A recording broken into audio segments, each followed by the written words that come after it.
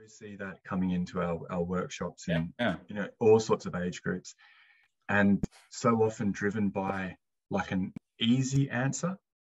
You know it's what's wrong? Why why are you frustrated? And they're really genuine feelings of frustrations of no i feel like we're not getting heard. You know and as a 15 year old boy not many people are listening to you.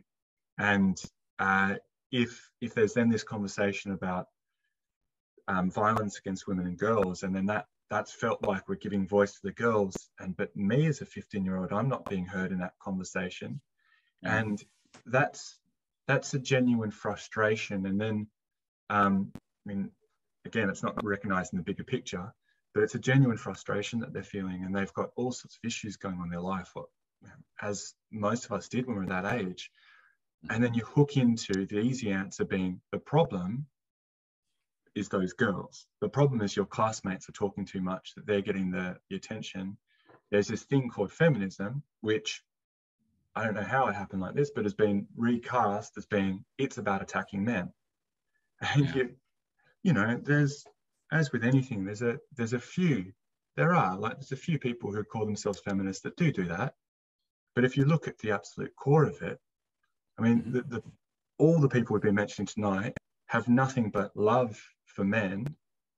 And I suspect that everyone we've mentioned would call themselves a feminist or or would say that they're profoundly influenced by feminists. Yeah. You know? So there is actually this like PR problem that that feminism has that means that it's such an easy, like uh, what do you call it? Like a it's a, a straw man. I don't know if that's equitable language, but probably not, not too much of an issue. But you know, it's a straw man for these for the frustrations that vulnerable, marginalized men and boys feel, um, where they can be like, oh, the problem, it's that times are changing and you're not getting what you're due. Um, Yeah. rather than saying, you know, what are the issues actually going on here? And if if you're not getting what you're due, is it really the already marginalized women who are taking that from you? Yeah. or is there maybe other things going on?